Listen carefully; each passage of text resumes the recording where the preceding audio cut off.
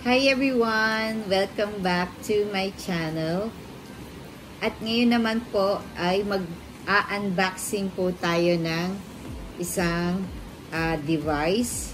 So ito po yung Alexa Echo Dot.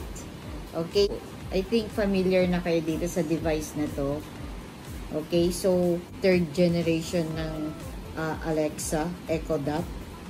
So, pwede nyo pong itanong kung ano yung gusto nyo itanong. So, I think familiar naman kayo sa Siri, sa iPhone. So, parang ganun lang po siya. Thing about this, you can uh, attach this with your uh, appliances. Kung familiar kayo sa Tim Kramer, so most of their uh, appliances or may mga ano sila sa house na connected kay Alexa para hindi na po sila aakyat or hindi na sila uh, mag-ano ng mga switch, ganun. So, yun ang good thing about Alexa. Pero, kailangan po nun maraming Alexa. Pero since we have only one, so, tatry po natin later kung gagana siya. Ganito po siya, yung loob niya. Ayan. So, naka-plastic. Okay. Ayan. So, meron siyang mga buttons. Okay? So, pag-aaralan ko pa po kung paano ko po siya i-set up. So, meron po siyang lagayan ng uh, mga wire dito. Okay? So, yan. Then, we have uh, ito yung mga instruction. Okay? Amazon. Then,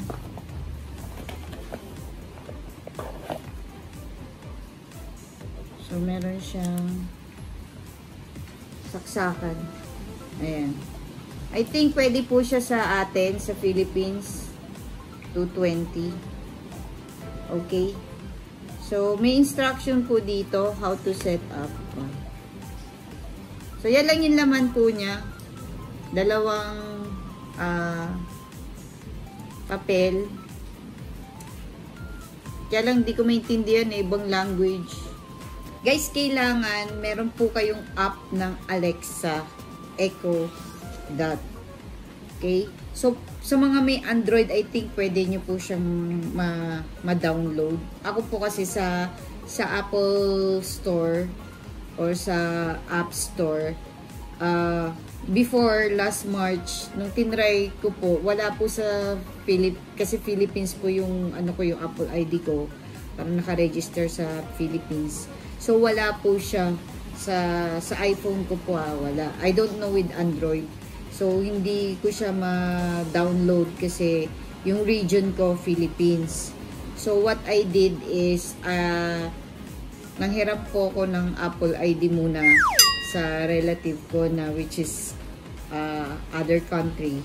Tapos, para lang po ma-download ko lang po tong Alexa.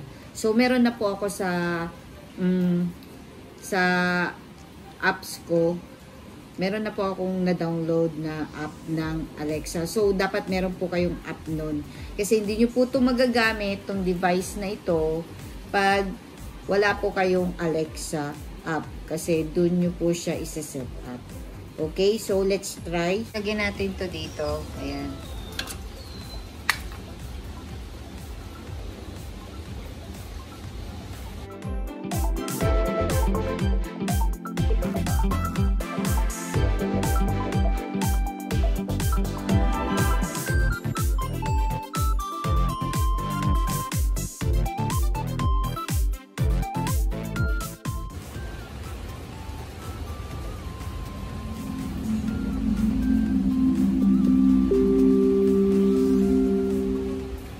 Hello. Your device is ready for setup. Just download the Alexa app and follow the instructions. Bonjour. Votre appareil est prêt pour la configuration. Téléchargez l'application Alexa et suivez les instructions. Okay guys, so punta na tayo sa Alexa app dito sa iPhone. para makita natin kung paano natin i-set up, okay? Okay, so, ayan, pumunta na ako sa app ko, Amazon, Alexa, download nyo lang po yun. Then, ifa-follow lang natin yung instruction, kung ano yung ina-ask po niya. Okay. So, continue lang natin.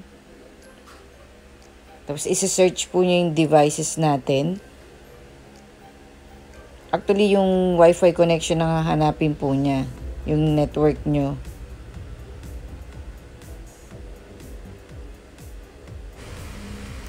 Okay guys, so medyo nahirapan si Alexa ang hanapin yung wifi namin, yung network namin.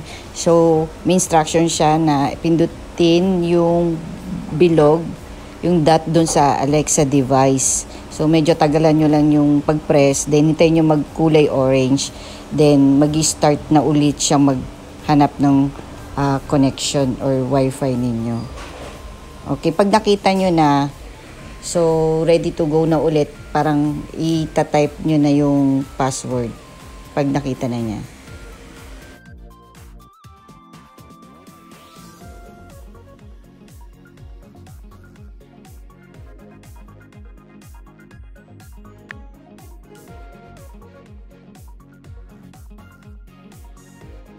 Okay, so hindi ko na pinili guys yung mga ibang ano, part ng house. Ito katulad yan, may kitchen.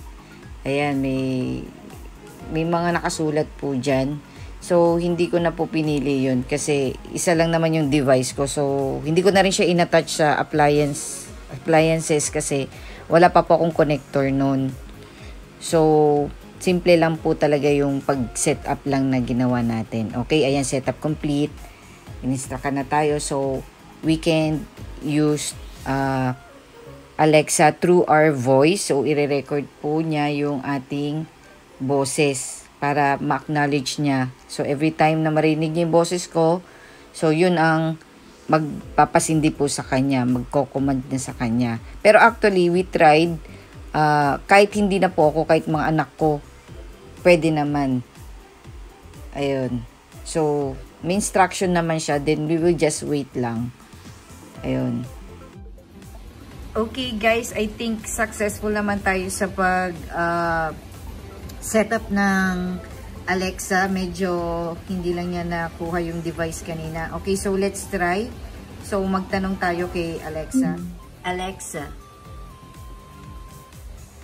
who is Rodrigo Duterte.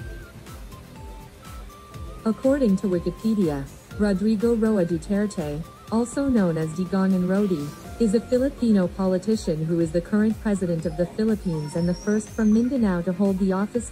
He is the chairperson of PDP Laban, the ruling political party in the Philippines. Alexa, stop. Okay guys, so you can command her to stop kapag kaayaw nyo na. Okay, Guys, ito, uh, nanghiram, uh, pinahiraman po ako ng Amazon account ng sister ko para magamit ko po yung music. Kasi you cannot use uh, this device sa music kasi i-charge po kayo unless you're willing to pay monthly sa Amazon. So, lahat ng nakaano do sa Amazon na music, eh, i-charge kayo kung wala kayong account. But since yung sister ko, may account siya sa Amazon, so, uh, pinahiram niya sa akin yung account niya. So, eto guys, ay hindi na nakaset sa Philippines. So, nakaset na po to sa Canada. Kaya, I can play music through Alexa. Okay, let's try. Alexa, play Bruno Mars music. Shuffling Songs by Bruno Mars on Amazon Music. Okay guys, so pwede nyo rin siyang i ano yung volume. For example, mag-play ng music. So since makaka-copyright tayo, uh, pwede nyo siyang i-command na uh, volume 1 or volume 2, patas ng patas hanggang volume 10 daw. Hindi ko na po sinampulan yung volume 10 kasi masyado na po malakas dito sa area namin baka magalit yung mga kapitbahay. Kaya pag nag-play po kami ng music, any music, basta sasabihin lang namin kung sino yung artist, album, halimbawa High School Musical, ganon. Kung soundtrack ng High School Musical 3, sasabihin namin, minsan guys, specific po tayo dapat pag nagko-comment tayo kay Alexa. Thank you for watching. Please don't forget to like and subscribe to my YouTube channel.